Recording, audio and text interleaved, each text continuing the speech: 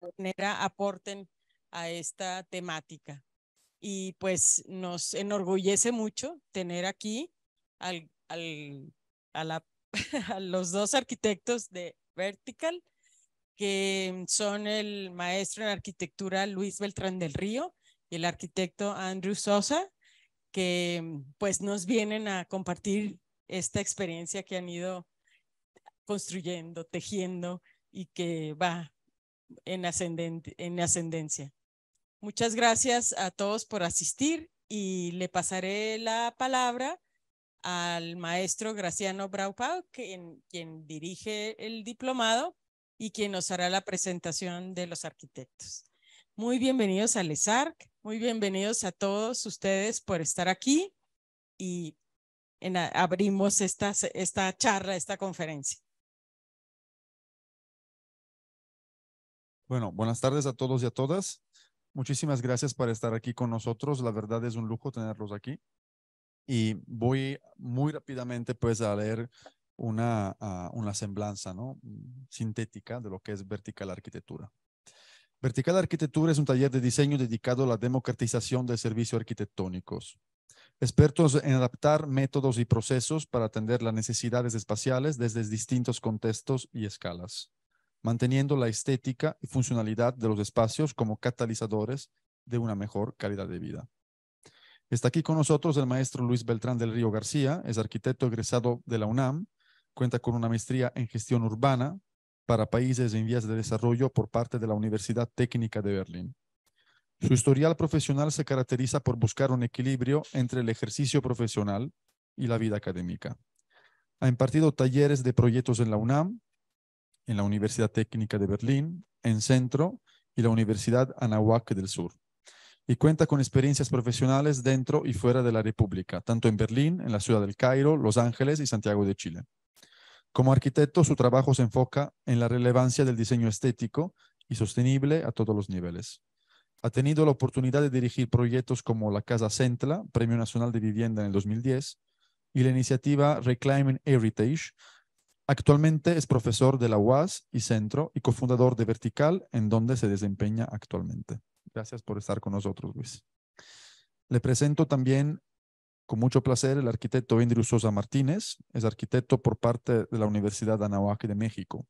Se ha desarrollado dentro del ámbito académico impartiendo talleres de proyectos en, la misma en esta misma universidad. Como arquitecto, su trabajo se enfoca en la eficiencia y funcionalidad del diseño. Ha tenido la oportunidad de formar parte de la dirección de diseño en proyectos como Casa Thurston en Los Ángeles, California, y proyectos sociales como Casa Mi, junto con la Embajada Alemana en Guerrero, México. Es premio al egresado del año por parte de la Universidad Anahuac de México. Actualmente imparte clase en esta misma universidad y es cofundador de Vertical, en donde se, donde se desempeña. Muchísimas gracias, arquitecto. Les dejo la palabra. Bueno, eh, antes que nada, muchas gracias por la invitación, eh, Graciano y Maruca. La verdad es que eh, algo que extrañábamos mucho, independientemente de eh, que estamos on live, es la posibilidad de dar charlas viéndole la cara a las personas. Extrañábamos muchísimo eso y qué cosa más encantadora que poder hacer esto en una escuela tan artesanal y con tanto encanto. Entonces, bueno, creo que lo segundo es que em, a pesar de que nosotros no hemos hecho de manera directa proyectos de vivienda colectiva, eh, la verdad es que sí teníamos, eh, bueno, siempre que, que, a uno se le, se le invita a este tipo de charlas, pues uno tiene que reflexionar sobre lo que ha hecho, ¿no? Y entonces tenemos una pequeña colección de, de guiños que tienen que ver con, con nuevas maneras de habitar eh, muchos de estos fenómenos están ocurriendo en la Ciudad de México y precisamente de una manera muy accidentada, em, pero muy encantadora, pues han formado un poquito parte de nuestra vida profesional y de repente uno voltea hacia atrás y ordena esas cosas, ¿no? Eh, no sé, lo que sí, no sé si me pueden echar una mano con la lucecita. Entonces, primero, eh, ah, creo que este... No está funcionando, pero me voy aquí, no pasa nada. Tampoco está. Ahí está. Ok. Eh, vamos a empezar con un, un, pequeño proyecto que se llama Dos Casas y un Estudio en Chimalistac. Y yo, eh, lo, lo primero que, que, siempre empezamos esta plática hablando de, mostrando estas dos imágenes kitsch y, todo todo mundo pone cara de espanto, ¿no? Porque dice, ¿a, poco vamos a hablar de esta casa, no? Eh, esta es una casa que heredó un cliente nuestro, una casa de aproximadamente eh, mil metros cuadrados, ¿no? Eh, algo bastante común en Chimalistac, donde, bueno, pues si vemos, hay, un, hay un lenguaje este, hasta cierto punto medio, anacrónico y con ciertas ideas, ¿no? El comedor que se utiliza una, una vez eh, únicamente en la Navidad, ¿no? Eh, y una planta baja que nosotros encontramos era sumamente fría porque estaba pegadita a la calle, ¿no? Y a, diferencia de, esa linda costumbre que vemos que hay en Guadalajara de, de, tener como estos patios y luego, y luego estos ventanales en planta baja, yo creo que se habita mucho más la planta baja aquí pues en la Ciudad de México es algo que, que da un poquito de terror, a pesar de ser Chimalistac. Entonces, como ven, era un espacio enorme, frío, eh, con este eh, lenguaje de repente eh, ligeramente este, anacrónico también. Ah, claro, me están viendo a mí nada más en el video no, está tan divertido. Ahí está. Ok. ¿Ya estamos? Perfecto. Bueno, y entonces el tema e, es que independientemente de eso, esta casa se encuentra en un contexto interesante. Chimalista, que era una hacienda que se partió en lotes, ¿no? Y la casa donde nosotros estamos actuando era una casa eh, hecha por un ingeniero eh, sumamente serio ¿no? en su tema estructural y después vamos a explicar un poquito por qué. Eh, en el sur de la Ciudad de México, el sur de la Ciudad de México significa volcanes, ¿no? Entonces siempre hay este tema pétreo. Eh, a unas cuadras tenemos a Luis Barragán, literal a cuadra y media. y entonces comienza un poquito nuestra experimentación. Y lo primero que yo creo que vale la pena hablar es, es eh, cómo, cómo vamos a evidenciar esta metodología, ¿no? Lo que están ustedes viendo es a su izquierda la planta baja y la planta alta a su derecha y el código de rojo y negro pues, eh, explica cuáles eran los, los muros originales en, en rojo, ¿no? Y los rellenos que hicimos nosotros en negro. Y entonces uno empieza a jugar con dibujos de manera muy abstracta y, especular, porque muchas de estas cosas las descubrimos después eh, ya en obra, ¿no? Y la, primera cosa que, que, decidimos hacer es que necesitábamos hacer demoliciones eh, de losas para ganar alturas, para ganar eh, nuevas luces, nuevas ventilaciones, ¿no? Entonces, algunas de estas demoliciones eran para nuevos patios, otras para dobles alturas. luego otra era poner atención al, al, jardín y a los polos de ventilación y de, iluminación, ¿no? Uno siempre está analizando eso y uno también eh, eh, piensa de repente dónde pueden surgir estos nuevos espacios, ¿no? Entonces tenemos, por ejemplo, este, este nuevo verdecito que pues es una doble demolición de losa y es un nuevo patio. Y ese tipo de cosas, a final de cuentas, te ayudan a articular em, con la existencia, ¿no? Lo que ven en morado, y es un poco eh, orgullo, es, lo único que hicimos de metros cuadrados nuevos. Eh, y ahora van a ver que a pesar de un cambio de imagen brutal, pues en realidad eh, hay muy pocos metros cuadrados nuevos en, casi todos estos proyectos. Y ya lo último es, es e, esto que ven en ocre, que son todas las demoliciones que tenemos para tragaluces. Eh, siempre recordamos esta enseñanza del maestro José María Buendía, eh, que nos dio clase allá en la UNAM y que decía, bueno, eh, cada vez más en la Ciudad de México, pues es un lujo el que si tienes únicamente dos niveles o la posibilidad de traer luz de manera cenital, pues no puedes darle la vuelta a eso, ¿no? Es, es, es como algo que tienes que hacer, ¿no? Entonces, si se fijan, hay una, hay una gran dosis de, de luz, de tragaluces, de nuevos patios, ¿no? Y luego, un poco para explicar cuál era la tarea de, tejer con todas estas piezas, es que eh, se decidió que esta casa heredada se convertiría en dos casas. Eh, una es esta, en planta baja y planta alta.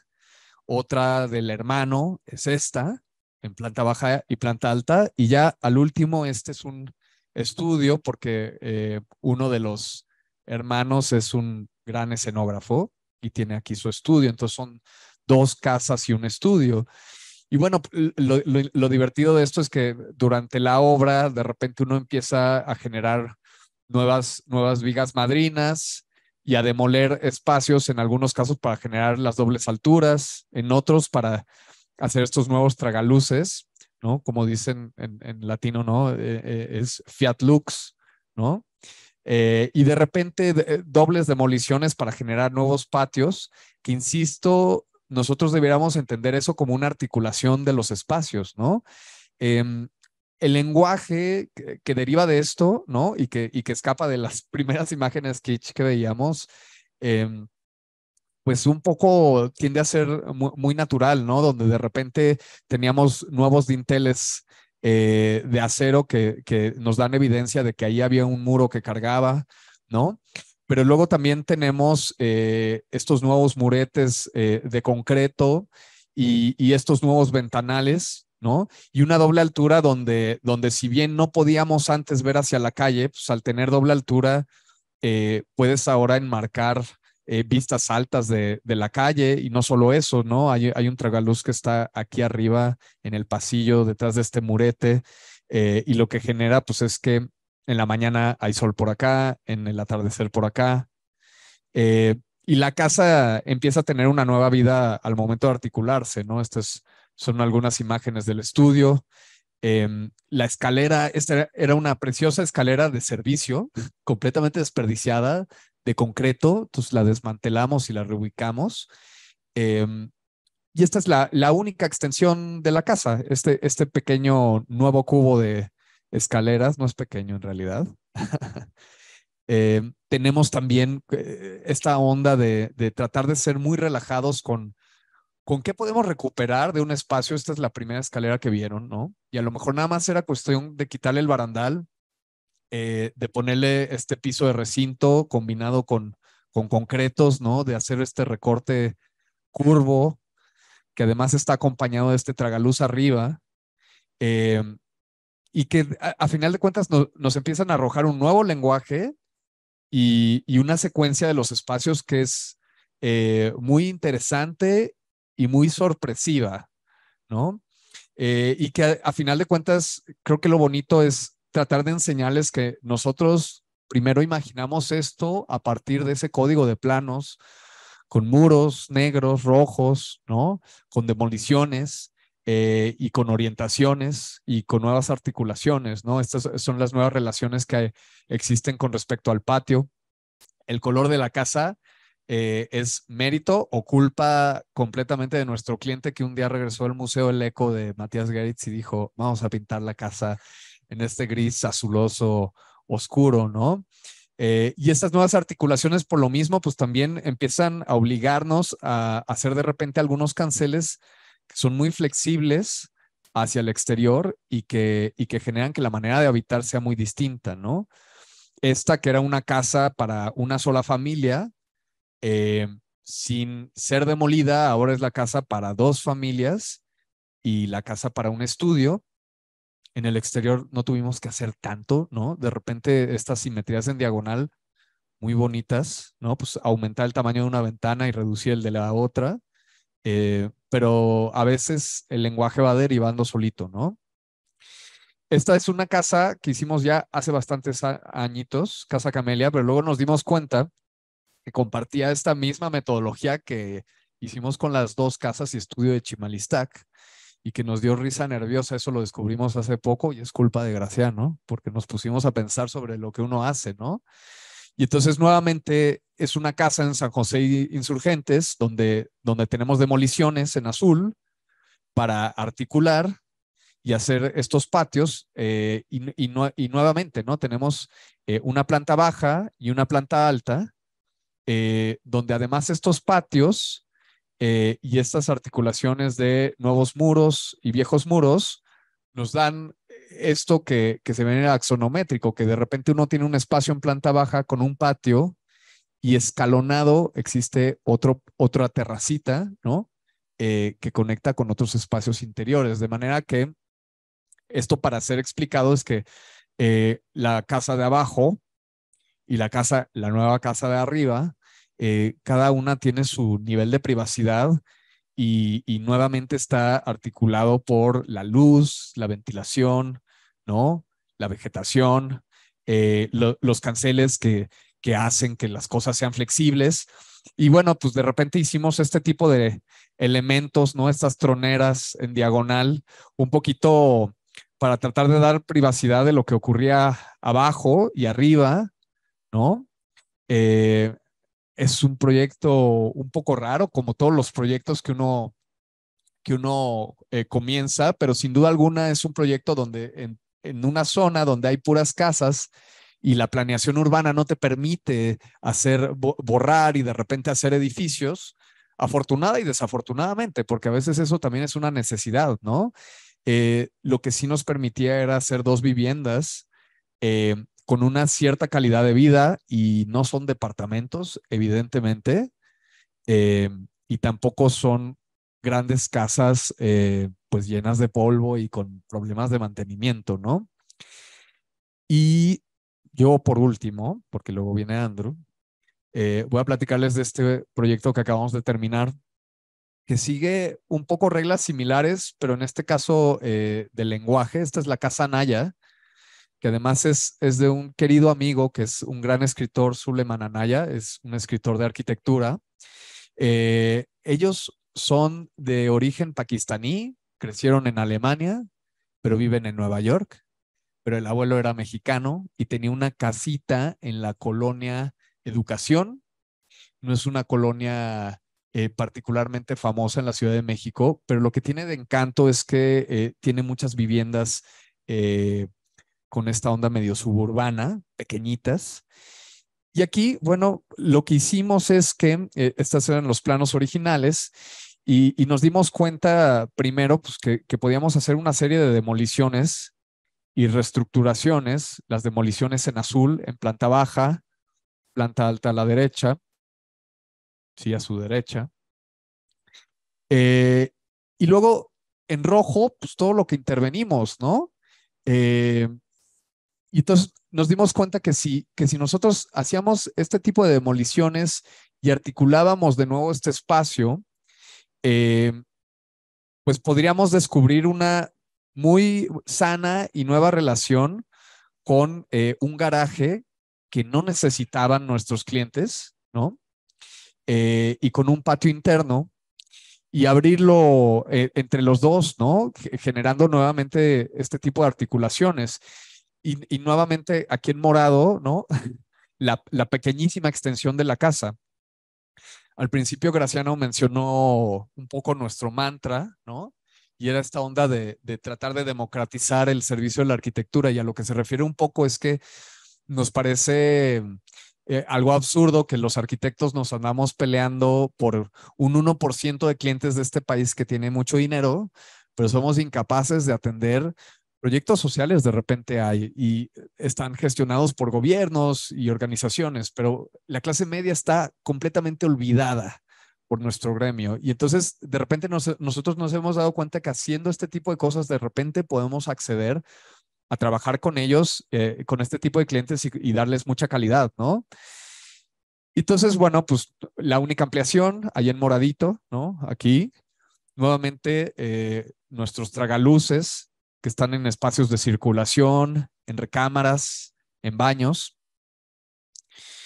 Y bueno, pues algunas de las vistas de, de esta casa, ¿no? Pues nos, nos dejan muy en claro cómo tú puedes unir de repente la cocina con, con la vida de, de, un comedor que está en semi-exterior, ¿no? Este, y de repente nuevamente trabajar este límite, que ya es el exterior, eh, una casa que de verdad no, no tenía mayores atributos, eh, pero al momento de, de, hacer estas cosas, pues se habita completamente distinto, ¿no? Inclusive le encontramos proporciones muy bonitas a estos volúmenes, nuevamente ampliando un poquito los soportes, rebajando por aquí. Entonces, este tipo de cosas ocurren cuando uno pone atención a la existencia y sin tener que ser la cosa más absolutamente brillante, ¿no? Y este es el patio interno donde además se ve esta, esta cruz muy bonita de IPRs eh, que nos permitieron pues tronar todos estos muros que no nos, que no nos daban chance ni de ver luz ni ventilaciones cruzadas. Eh, al mismo tiempo que, que, rescatábamos en Chimalistac una escalera de concreto, mandamos a hacer esta eh, con un artesano que parece salido de la historia de Harry Potter, porque además se sabe el cálculo perfecto, eh, un personaje, ¿no? Eh, un artesano. Y bueno, los, los eh, límites muy flexibles, ¿no? Una cancelería con una materialidad muy, muy particular, pisos de pasta, el, el nuevo patio. Y en la parte alta, yo diría que las articulaciones tienen que ver con cómo vemos el cielo o, o ciertos dorados, ¿no? En las escaleras. de repente dejamos este tipo de guiños que ya existían en la casa, que no tienen mucho sentido, pero que forman parte de esta historia absurda eh, de la casita, ¿no? Eh, algunos baños que tenían estos mosaicos preciosos, rosados, ¿no? Y que nada más había que cambiar la ventana, el mobiliario, abrir este tragaluz, ¿no? Para este tema súper obsceno de los baños, de ver el cielo mientras te bañas, pero estar en privado. Eh, y luego baños nuevos, pero tratando de hacer un guiño estético con lo anterior. Eh, esta recámara que además es muy teatral, ¿no? Porque tiene este gran tragaluz eh, con estas, e, e, este blackout de cortina que está desde antes, ¿no? Eh, que nuevamente habla de límites, nuestra escalera y, y, literal, pues un lenguaje inusual, ¿no? en una casa nueva vieja, ¿no? Donde nuestra clienta, por ejemplo, la mamá de Suleman Anaya dijo, por favor, no me quiten mi piedra bola de la fachada. Y, este, y, a nosotros nos encanta que hagan eso, porque te obligan también a reconsiderar que a lo mejor no tienes que imponer absolutamente todo y que las cosas, si pones atención, pueden empezar a llevarse bien. Em, no sé si se dieron cuenta cuando empezó esta última casa, la Casa Naya, que había un título que hablaba sobre tejiendo con la preexistencia.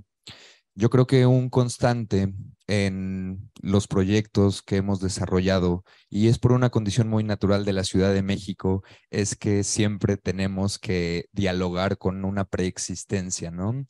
Y muchas veces, si se dan cuenta, un hilo conductual en todos estos proyectos es que eh, el valor, el, a lo mejor de familiar, ¿no? De una casa que heredaron, o el valor eh, geográfico, en el caso de la casa de Chimalistac, ¿no? Por el valor patrimonial o histórico donde se encontraba, nos van generando cierta ciertas directrices con las cuales empezamos a tejer, con las cuales empezamos a desarrollar un discurso y empezar a, encajar esta metodología en la cual es de forma como un cirujano utiliza un bisturí, ¿no?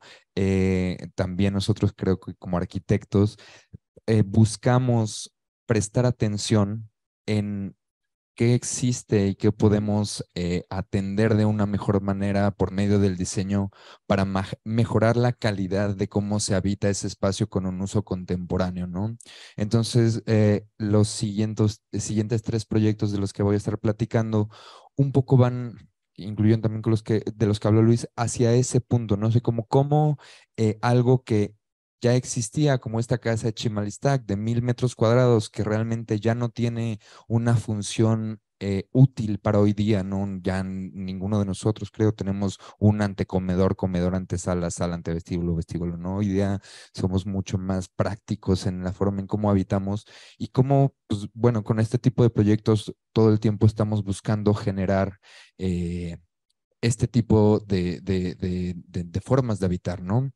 Entonces, el primer proyecto del que les voy a hablar es este edificio de viviendas eh, de Grajales Robles. Ya sirve esto. Es una casa eh, californiana en la del Valle. eh, una casa unifamiliar de dos pisos. Eh, esta es literalmente una foto de cuando se compró la casa. Es una casa gemela, que quiere decir que literalmente la que está aquí al lado es espejo de esta casa. ¿no? Y era realmente un espacio para una sola familia, ¿no? En una zona, en una, en una colonia que pues está pegada a la Roma, a la Condesa, es una colonia que tiene un nivel de habitabilidad bastante, bastante alto, ¿no? Lo curioso es que este proyecto, yo creo que es de, de nuestros primeros proyectos, tiene unos 8 o 9 años que lo, que lo, que lo construimos eh, en colaboración con COP. Eh, y era ese momento donde apenas se estaba eh, empezando a especular, ¿no? claro que ya había muchos desarrollos eh, eh, inmobiliarios en la Condesa, de estos como de baja densidad, ¿no? Como cuatro pisos y demás departamentos, pero se empezaba a especular, ¿no? Como qué iba a suceder con todas estas casitas, ¿no? Entonces, pues sabrán como la historia de siempre, ¿no? Llega el desarrollador inmobiliario y te va a decir, pues demuélele y construye un edificio desde cero, ¿no? Pero un poco por eso quise hacer como esta introducción para hilar, ¿no? Este discurso de cómo muchas veces el prestar atención de qué es lo que existe te detona eh, nuevas oportunidades, ¿no? Entonces, en este proyecto, lo que hicimos fue prácticamente respetar y, y recuperar la casa existente y adosar eh, un, nuevo volumen, ¿no? Eh, esta es la parte de enfrente, que es básicamente el garage, y esta, esta parte de atrás, que básicamente eh, funcionaría de forma como una torre, y lo que era una casa unifamiliar se convirtió en tres departamentos casas. ¿Por qué digo departamentos casas? Porque un poco de, de esta lista de, de eh, directrices que queríamos cumplir con este proyecto era que cada uno de los departamentos tuviera una terraza y que tú te pudieras salir como cuando era una casa unifamiliar a un pequeño patio, una pequeña terraza y vivir en la del valle, pero con esa calidad espacial, ¿no? Entonces, ¿cómo lo logramos y qué es lo que lo que hicimos fue, pues, prestar atención cuál era la raíz de esta casa, ¿no? Los materiales, eh, la escala de los espacios, ¿no? Los grandes ventanales, ¿no? Entonces, aquí lo que se alcanza a ver es hasta este punto, ¿no? Había, eh, existía como el, el, eh, la casa original y luego esta parte de acá arriba es la extensión de la casa, ¿no? Entonces aquí lo que podemos ver son eh, la recuperación de los pisos de pasto originales de la casa, ¿no? Esto, estos vanos, ¿no? De, de con arco eh, de medio punto, ¿no? Que respetamos, hicimos eh, nuevos accesos a una de las casas, ¿no? La recuperación de la escalera original y una extensión de una escalera nueva, ¿no? Intentando ahí como diferenciar un discurso de lo, lo, original, ¿no? Y no buscar hacer algo anacrónico algo escenográfico, ¿no? Sino también, eh, pues, hacer un poco obvio cuál era la extensión de la casa, ¿no? Entonces lo que nos arrojaba era esta distinción de sí, si bien existía un lenguaje original de la casa que se empezaba a conectar y empezaba a hilar eh, con eh, la extensión de la casa misma, ¿no?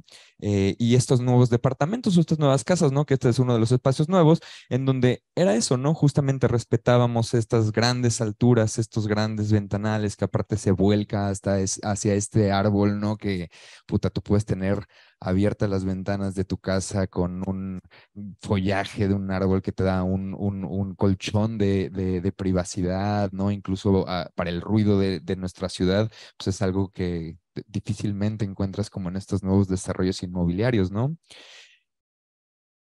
Y esto era a lo que me refería, ¿no? La casa de planta baja, por ejemplo, esta es la estancia, básicamente es donde está tomada esta foto, se conecta hacia esta terraza, en donde tú puedes abrir toda la cancelería de este espacio y conectarte hacia la cocina y estas escaleras que te llevan hacia las recámaras, ¿no?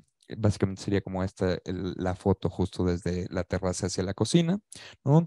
Y generaba este núcleo central, ¿no? En donde cuatrapeando las ventanas de cada uno de los departamentos, casas, eh, no, no, no, se ventaneaban, ¿no? Y tenías ahí un, nivel de privacidad en el, un núcleo de manzana que generaba esta misma casa, ¿no? Entonces, este es un poco eh, ese, ese núcleo y ese espacio. Y luego brincamos a este otro concepto, ¿no? Que eh, durante la comida, durante el recorrido que nos echamos aquí, ya van como tres veces que lo platicamos, pero podemos platicarlo una vez más porque es un tema que a todos nos compete, ¿no? Que es el, eh, la gentrificación y las dinámicas que trae consigo el Airbnb, ¿no? Eh, y esta historia casa con este proyecto que es, está ubicado en Melchor Campo 38. Está muy chistoso venir a Guadalajara a platicar de Barragán. casa hasta cierto nervio, creo que no hay alguien que conozca mejor a Barragán que pues, la gente de, aquí, ¿no? Pues resulta que este es el primer edificio que construye Barragán en la Ciudad de México en colaboración con Max Cheto. Es un edificio que eh, se lo piden dos hermanas, a Barragán y a Max Cheto, para escultores y pintores en el 47. Entonces eran eh, cuatro departamentos con unas dobles alturas, ahorita profundizaré más en el espacio, Y eh, fue muy curioso, e, e, este proyecto llegó a nosotros gracias a unos clientes con los que ya estábamos desarrollando otros proyectos y de repente llegan y nos dicen como, oigan, ¿nos echarían la mano en diseñar las cocinas de un edificio? Ah, pues sí, órale, lo que sea diseñar, jalamos, ¿no? Eh, y de repente vimos los plámonos y fue de, de oh, wow, ¿no? Entonces pues dijimos, pues vamos a echar la carne al asador, ¿no? Entonces nos echamos toda una propuesta de toda la remodelación de, de, los departamentos, porque aparte, y eso loquísima la historia, ¿no? Eh, ya había un proyecto aprobado que había pasado por alto el INA, el INBA, y ya se iban a empezar a construir unos departamentos de un proyecto normal, ¿no? Pero pues, un poco el, conectar con los clientes, llevarlos a explicarles la importancia histórica, arquitectónica que tenía este edificio, eh, pues logramos que nos dieran el chance de hacer como la remodelación completa de, del edificio, ¿no? Entonces, un poco eh, la, la, aproximación fue completamente distinta, ¿no? A cualquier otro proyecto, porque pues básicamente intervienes algo de, algo de Barragán, ¿no? Es la, relevancia, eh, pues es absoluta.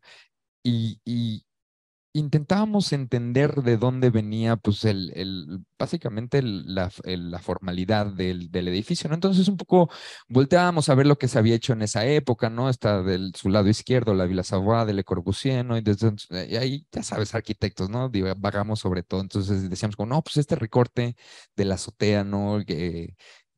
Tiene ahí cierta relación, ¿no? Como con la contundencia, los materiales, la cancelería justo que se utilizaba en esa época, lo mismo, ¿no?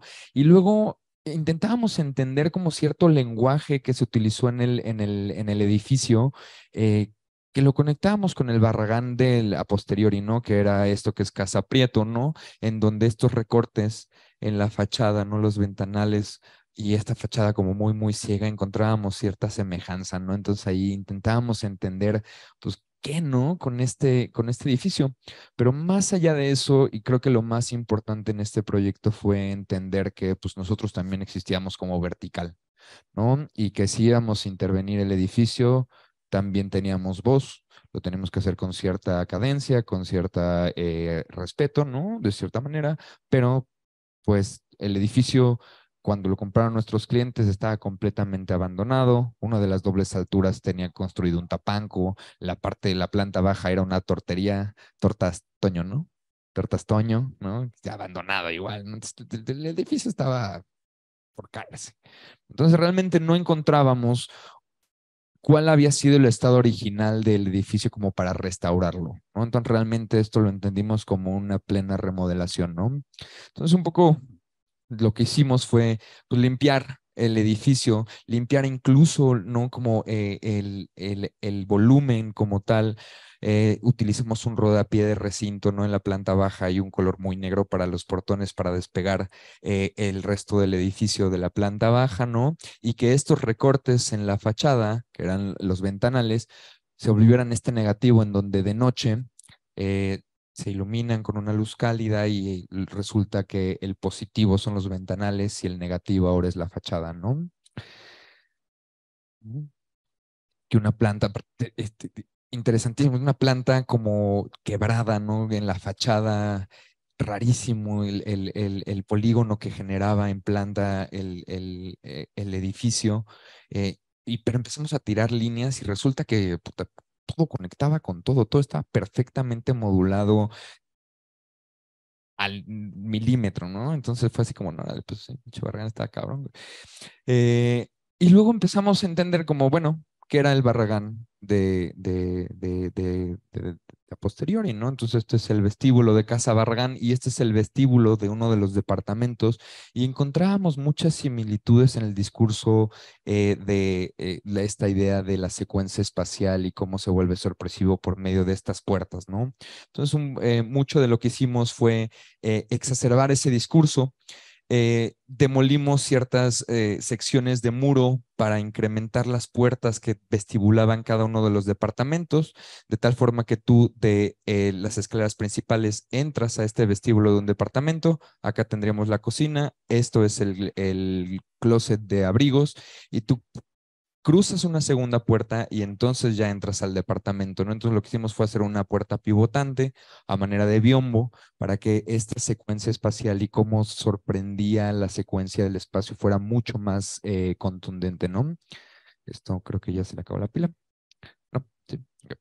Entonces, oh, ah, se trabó un poco la secuencia de, los departamentos. Este es el, las escaleras principales, cruzas esta puerta, entras al vestíbulo del departamento, cruzas esta puerta biombo, volteas a la derecha y te vas a encontrar con esta doble altura, que aparte tiene una orientación hacia el norte, entonces puedes tener las cortinas completamente abiertas y nunca te va a pegar una luz directa. Pensemos que esto fue diseñado para escultores y pintores, entonces siempre tienes una luz indirecta y nuevamente, ¿no? Esta eh, increíble eh, vista hacia una glorieta, que es la glorieta Melchor Ocampo, ¿no? Como llena de estos árboles y esta vegetación. Si volteas hacia el otro lado, te encuentras con el resto del departamento, ¿no? Que tiene aparte estas escaleras, ¿no? Muy, le corbuserianas, muy escultóricas, que igual todos nuestros proyectos están llenos de anécdotas increíbles. Eh, estas escaleras eh, de los cuatro departamentos, una tenía barandal por fuera, una tenía barandal al centro, una no tenía barandal y una no tenía dos escalones, ¿no? Entonces era como, puta, pues a cuál haces caso, ¿no? Entonces decidimos, ¿no? Como nuevamente bajo esta idea de vamos a existir, eh, dejarlas completamente limpias, ¿no? Y que se leyera como este gesto muy escultórico, estas escaleras, ¿no? Subes eh, las escaleras y te encuentras con este tapanco, eh, que básicamente pensando que esto era para escultores, aquí era donde estaría como las oficinas o como a lo mejor un espacio más limpio de dibujo. Y mucho de lo que hicimos eh, con esta idea del lenguaje, ¿no? Y como con esta idea de poner un set de reglas fue, vamos a evidenciar lo que es original y vamos a evidenciar la intervención que estamos haciendo, ¿no? Entonces, de tal manera que la duela original de, eh, de los departamentos tenía un tono mucho más oscuro y la madera que utilizamos, eh, porque pues, básicamente varias de las duelas estaban completamente destrozadas, los soclos estaban completamente podridos fue, vamos a, obviar este tejido de qué era la parte antigua y qué era lo que estábamos interviniendo, ¿no? Eso por un lado, en los vestíbulos, nuevamente bajo esta idea de exacerbar este, eh, eh, este principio de Barragán, terminamos de hacer unos lambrines de una madera eh, laqueada al alto brillo, acabado piano, ¿no? En donde si tú cierras todas las puertas de este vestíbulo básicamente es un espacio completamente blanco. Eh, entonces ya luego cuando cruzas una de estas puertas, pues te descubres, ¿no? Y, te encuentras con, este, con esta doble altura, ¿no? Y por último, los acabados, ¿no? Eh, los pisos duros, sobre todo, no encontramos ni en algún momento, pues cuando entraron todos estos azulejos y demás, todo tenía azulejos de interceramic por todos lados, ¿no? Entonces fue, no, no, prestemos atención cuál era la época, ¿no? Entonces lo que hicimos fue regresar eh, a este estado de, de esta tectónica, esta materialidad de su momento, que es el terrazo, pero con un lenguaje mucho más contemporáneo. Entonces hicimos unos terrazos eh, con una granulometría muy pequeña, con incluso tenían unas incrustaciones en dorado de latón, ¿no? Y esta historia es muy, muy, muy interesante yo creo de las únicas cosas que no logramos encontrar que tuvieron una modulación perfecta fueron esos pisos duros de las cocinas, de los vestíbulos.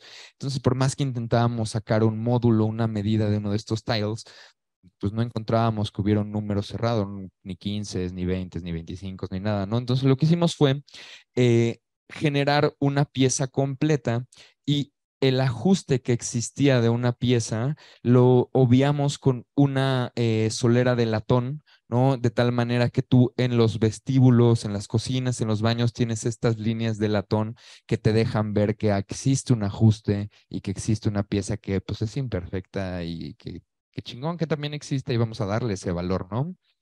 Eh, nuevamente, eh, modificaciones que estuvimos haciendo, rescatamos el terrazo de las escaleras y mandamos con nuestro terracero a eh, hacer una copia exacta de ese mismo terrazo y creamos estos rodapiés en las escaleras de elementos que no se notaban a simple vista, pero que claro que existían, ¿no? Como el murete de la ventana coincide a la perfección con el barandal y a su vez con el cerramiento de la trave, ¿no? Entonces eso no se veía a simple vista, pero con este eh, rodapié lo, lo, dignificábamos o, eh, o, exacerbábamos como ese gesto, ¿no? Lo mismo en los oclos.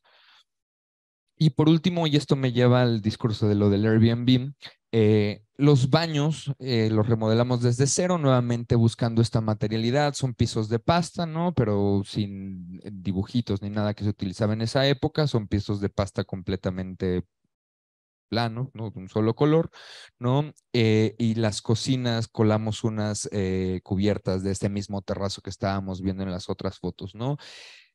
Tanto los baños como las cocinas, pues tienen puros accesorios de hiperlujo porque esto se renta como Airbnb hoy día, ¿no? Entonces resulta que es uno de los 10 mejores Airbnbs en los que te puedes hospedar hoy día en la Ciudad de México. Eh, y es este discurso de cómo algo que incluso en una eh, entrevista que leímos que le hicieron a Barragán, Barragán hablaba de este proyecto como si fuera un mero...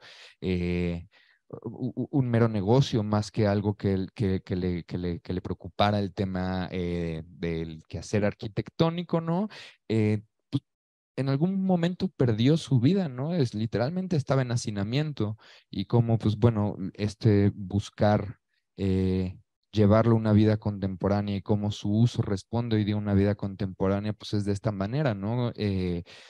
Muchos de los espacios en la Ciudad de México, muchas de las casas en la Roma, en la Condesa que tienen este valor histórico, eh, o están abandonadas o son Airbnbs, ¿no? Y eso es porque pues se busca mejorar como este, e, este, e, e, estos espacios, cómo se habitan.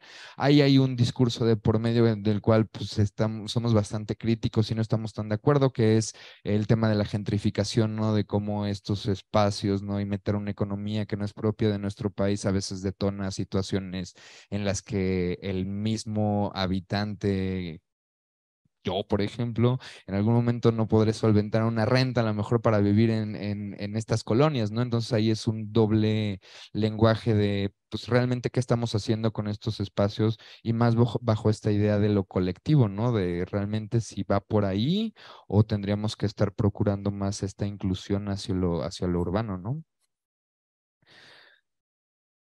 Y por último, eh, el CUPA, que es el Centro Urbano Presidente Alemán, que es el primer multifamiliar en toda Latinoamérica que construye Mario Pani, eh, donde hoy día es nuestra oficina y en algún momento fue el departamento de soltero del champ de Luis. Eh, es un proyecto increíble, les platico rapidísimo cómo funciona.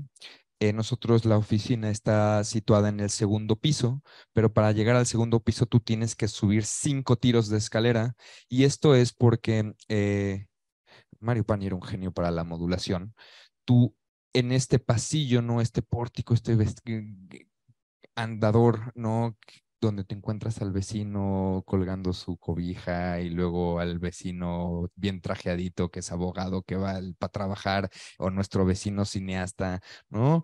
Eh, tú puedes entrar por una de las puertas y te encontrarás con lo que eh, Mario Pani básicamente pensó como la cocina y el comedor y hay de dos sopas. O subes estas escaleras y llegas a la estancia eh, y las recámaras, ¿no? Que es este entreje, ¿no? De columna a columna.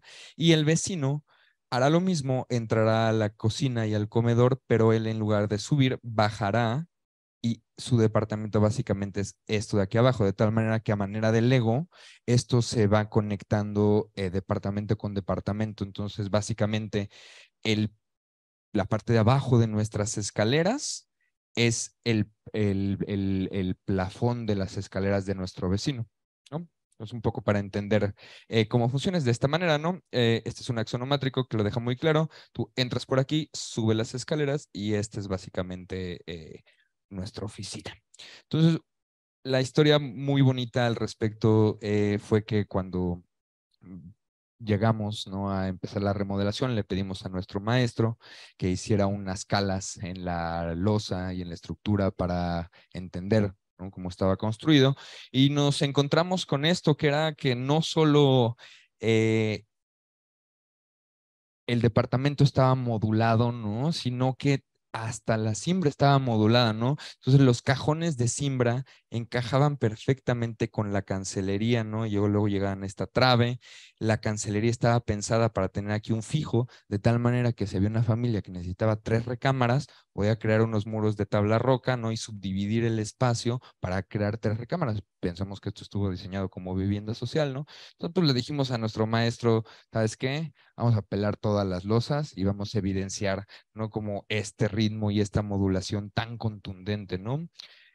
ya eh, un poco como nuestra intervención fue, eh, buscamos hacer un gesto como a manera de espejo de lo que habíamos descubierto en el techo, ¿no? Entonces nuestro piso es una duela de pino cardeada, ¿no? Que básicamente lo que hace una carda es sacarle la vetadura a, la, a, los pisos, ¿no? Entonces es muy bonito porque tú caminas descalzo estos, eh, este, este piso de madera, básicamente te conectas tectónicamente con lo que estás viendo en el plafón, ¿no? Como esta brutalidad, como si fuera una cueva, ¿no? Entonces, estas son fotos de cuando era el departamento del champ. Este es, ah, de este lado estaría su estancia. Esto es un librero que básicamente dividía el espacio de la estancia con su recámara. Ahí está Frida, su gatita. Y este increíble ventanal que nuevamente no se desborda hacia este eh, hermoso parque que tiene en la parte de abajo, ¿no? Y esto es hoy día nuestra oficina. Eh, básicamente dejamos que el espacio existiera nuevamente como este loft, ¿no? Un espacio completamente abierto. Eh, y pues ya, e, esta es una foto eh, actual. Eh, Luis tuvo dos bebecitos, entonces no podía quedarse la, la, escalera sin barandal. Entonces hicimos este barandal ciego de, de placa de acero, ¿no? Este el chucum, perrito. Y me parece que eso es todo. son unos planos que acabamos de sacar eh, somos grandes fans de muchos arquitectos, pero uno de ellos Flores y Prats, arquitectos españoles. Entonces, eh, buscamos eh, desarrollar estas planimetrías desde cómo se habita y de cómo habitamos nuestra oficina y cómo se habita el espacio y cuáles son los seres que habitan nuestra oficina, ¿no? Entonces, a manera de inventario, eh, básicamente eh, en la oficina estuvimos calcando cada uno de los objetos que habitan inertes en nuestra oficina, ¿no? En donde de repente... Eh, nos encontramos con maquetas, con arte que nos regalan amigos, con arte que hizo Manu, el hijo de Luis, y que son estos espacios que le dan esta habitar y esta forma de vivir a nuestra oficina. Y eh, es, es, muy, es curioso este ejercicio, no somos las primeras personas que lo hacemos, tenemos un vecino que también es arquitecto, este Raúl Tello. Raúl Acevedo, no, Juan Carlos Tello, que básicamente bajo ese mismo ímpetu, ¿no? Y, llevó a este nivel de detalle el cómo él habita su departamento y tenemos otro amigo arquitecto que igual tiene una remodelación pulcrísima y algo que está pasando bien interesante en el CUPA es que este proceso de gentrificación está es sucediendo de una forma muy digna. Eh, la planta baja que son puros comercios todos y cada uno de los comercios funcionan y están activos, ¿no? Entonces encuentras lavanderías, cerrajerías, herreros, ¿no? los que hacen ventanas te dicen, ah, oye, se me rompió una ventana, ah, ¿de qué departamento eres? Ah, de la torre 204. ¿Qué ventana se te rompió? Ah, pues la del primer módulo. Ah, esa mide 22.5 por 35, porque lleva ahí toda su vida.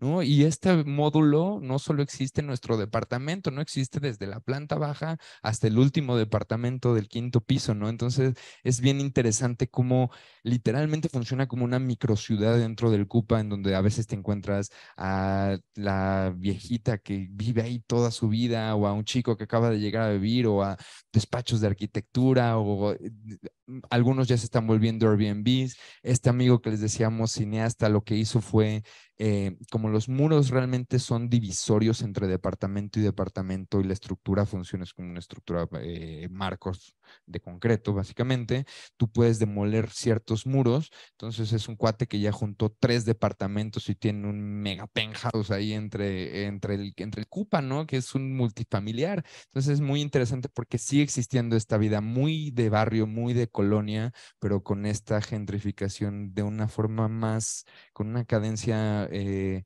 más medida y que sigue siendo espacio, ¿no? Eh, a mí me encanta comer en unos tacos en la esquina, ¿no? Y la señora de los tacos dice, ah, sí, ustedes son los arquitectos, ¿no? Los del edificio, ¿eh? Del segundo piso, porque nos conocemos entre todos.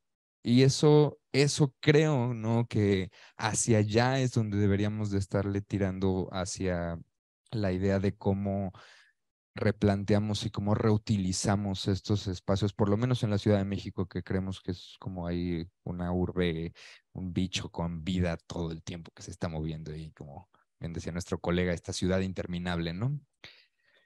Pues eso es todo. Muchísimas gracias.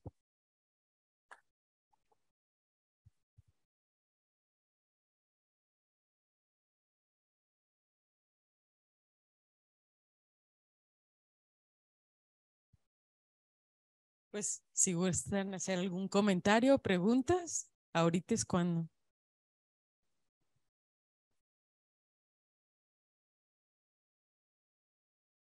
Hola, buenas noches. Qué, qué trabajo tan extraordinario. Felicidades. Eh, mi, mi pregunta tiene que ver si, digo, tal vez sea muy obvia o muy boba, pero eh, ustedes tenían libertad total para, para proponer las demoliciones de los muros. Digo, entiendo que estructuralmente está pensado, pero, pero que su idea fuera, ¿qué tal que si quitamos este muro y este otro? ¿Estamos hablando del CUPA o en general? En general. No, sí lo hacemos nosotros.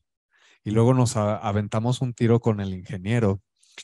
Pero la verdad es que yo creo que las demoliciones más fuertes que hicimos en ese sentido fueron en el, del primer proyecto que es el de Chimalistac.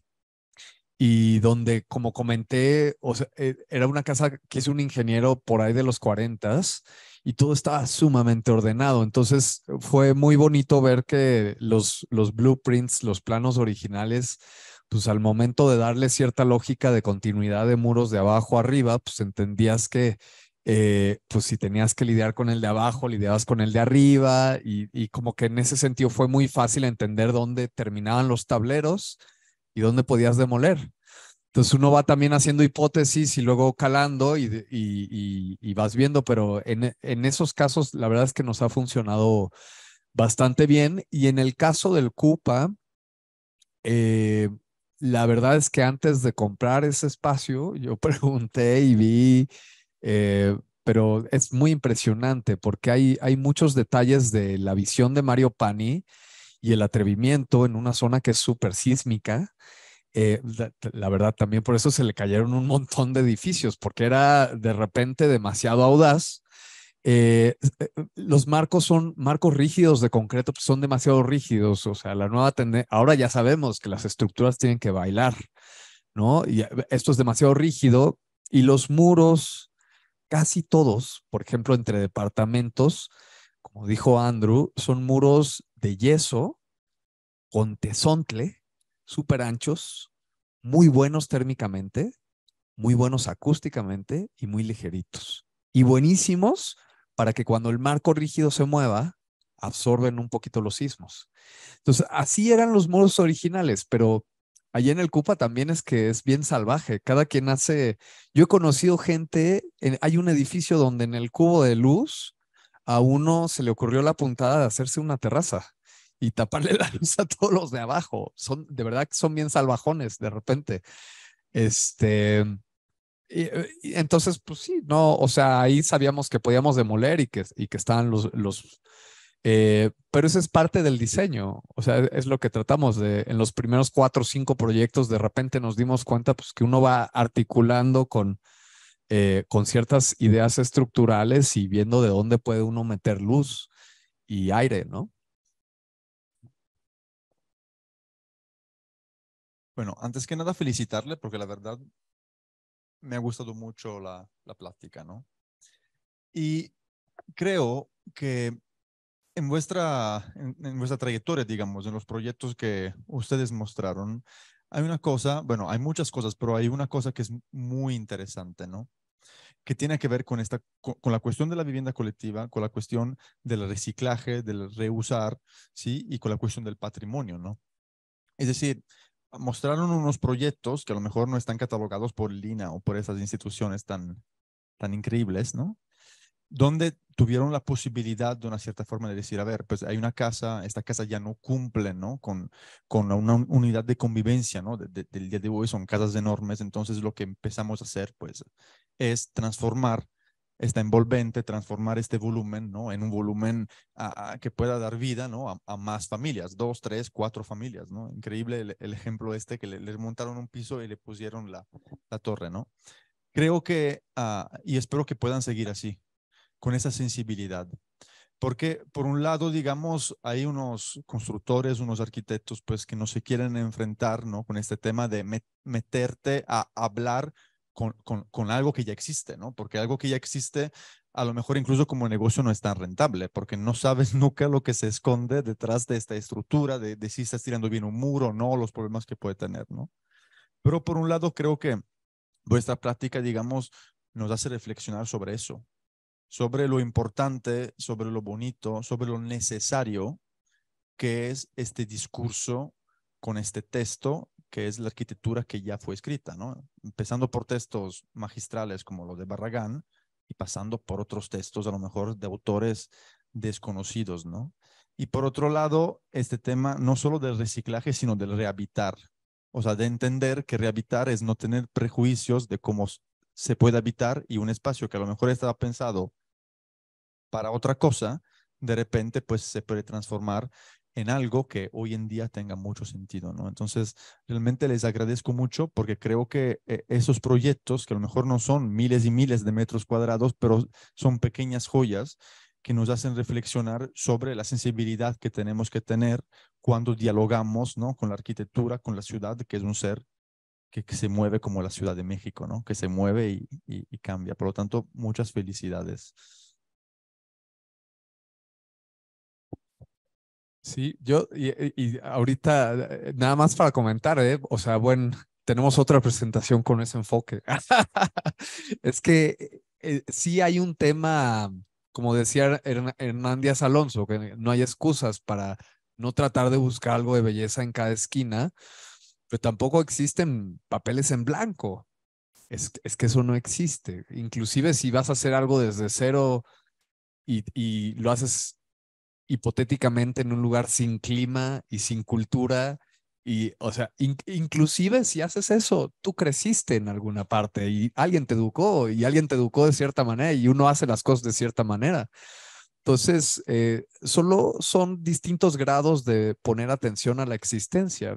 También tenemos proyectos que son desde cero, pero no son desde cero porque uno es una casa estudio para una escultora y pues la escultora tiene una manera de ser y, o sea, entonces nunca existe tal cosa como algo, algo blanco, ¿no? Y como bien dices, pues a veces es Barragán y, Max Cheto y tienes que poner mucha atención, ¿no? Que además eso nos tocó al principio de la carrera y era así como puta, todo el nervio, ¿no?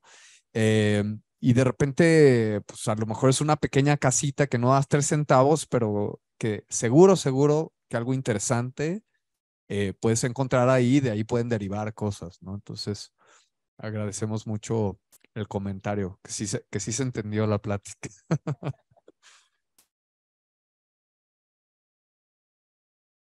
Gracias. Buenas noches. Eh, se me hace muy interesante esto que acabas de mencionar, ¿no? Que nunca se empieza desde cero y que realmente nuestras ciudades crecen en gran manera, ¿no? Eh, modificándose más que empezando de nuevo. Eh, entonces, la, la pregunta que yo les tengo es, si nos imagináramos en 50 años, ¿no? Que a algún otro arquitecto le toca ahora renovar eh, su obra de ustedes o alguna de estas obras que ya renovaron, no les toca cambiar el, el uso, el, la manera de habitar. Eh, ¿Qué le dirían? ¿Cuál sería, qué sería lo esencial que deberían conservar? ¿Qué sería la actitud que deberían de tomar?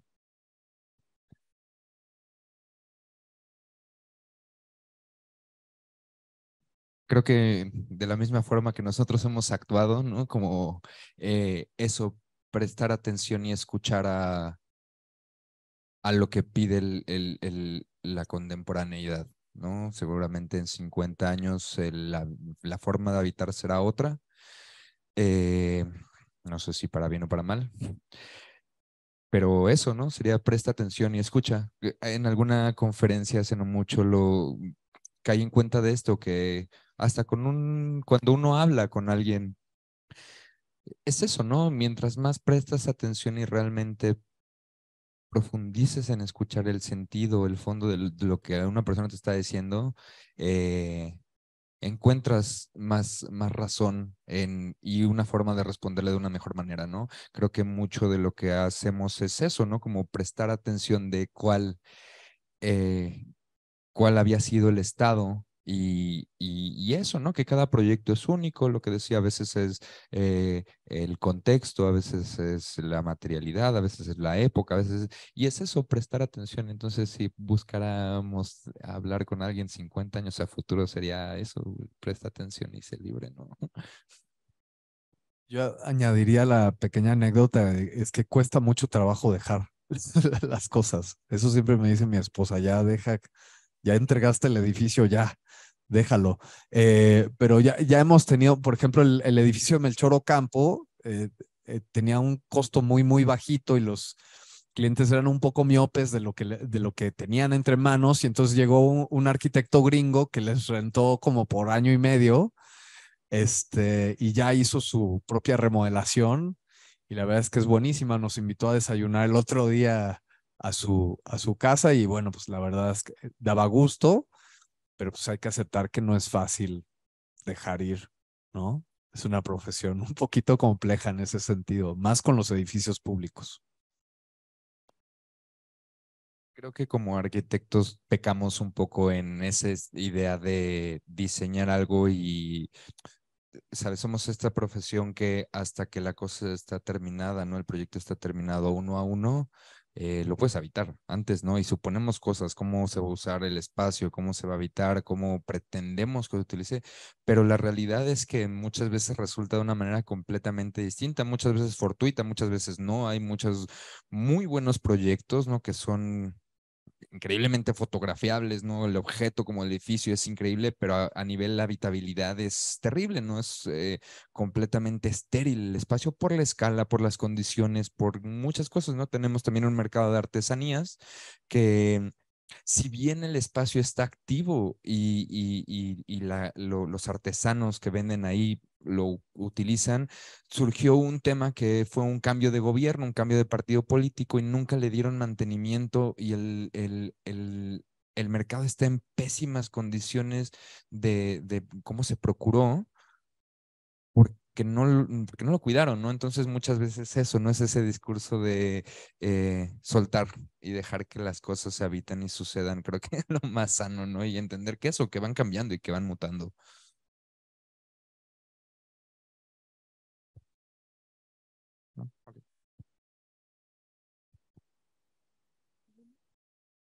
Yo solo quería pues preguntar o comentar. Eh, hablaste como en un tono muy, pues muy natural sobre la gentrificación. Y en las escuelas de arquitectura, pues oscilamos entre qué es lo peor que le puede pasar a un barrio, a una localidad, a una manzana que se expulse a sus habitantes originarios. Sin embargo, rehabitar y redensificar en los centros históricos o los barrios tradicionales o colonias ya más del siglo XX, pues implica esta, vamos a decir, este intercambio entre nuevos personajes, nuevos habitantes o habitadores, como escuché hoy, que pues que implican una gentrificación. Entonces, ¿cómo, o sea, cómo es esta mediación? ¿Cómo la entienden ustedes? Eh, yo creo que una, una cosa importante a entender del, del distinto enfoque que a lo mejor podemos tener de, de qué tan malo o nociva es, es, la gentrificación es que, por lo menos en mi experiencia, eh, la gentrificación en, en algunas partes de la Ciudad de México tiene que ver con un proceso de abandono de la parte central de la ciudad y que tuvo que ver en específico con el terremoto del 85. Y entonces durante, por lo menos cuando yo estudiaba, había muchos arquitectos, Javier Sánchez y demás, que hicieron cosas muy interesantes a partir de cambios políticos eh, de las densidades en el centro de la ciudad, pues que permitieron revivir muchos espacios que se usaban como bodegas y demás. Entonces, yo creo que todo de una manera equilibrada puede ser muy sano y siempre lo hemos dicho, el caso del Cupa es particularmente bueno. Es el primer multifamiliar que hace Pani, el último es Tlatelolco y, y según yo, el Cupa es infinitamente mejor. Y creo que tiene que ver con la escala de la manzana. Eh, no, tiene una escala relativamente pequeña eh, y, eso, y eso, y además está rodeado de una zona eh, donde a lo mejor podría haber existido una aparente gentrificación, pero que evidentemente no se quiso porque la gente que vivía afuera del Cupa lo ve como algo feo y eso le ha beneficiado mucho al Cupa. La gentrificación del Cupa nada más es de arquitectos. En realidad es una gentrificación bastante sana donde nosotros ayudamos a pagar la cuota y creo que el resto no. Yo creo que algo equilibrado no está mal. Evidentemente tratamos de ser un poco más críticos con el caso del Airbnb, que sí creemos que está mucho más este, puntiagudo, ¿no? Y sí, creo que es eso, o sea, se entiende la idea de gentrificación todo el tiempo como algo malo o, peyorativo, pero no, creo que hay muy buenos ejemplos como estos que realmente sí es encontrar ese punto medio, ¿no? De cómo eh, te vinculas con el que, con el que habita ahí.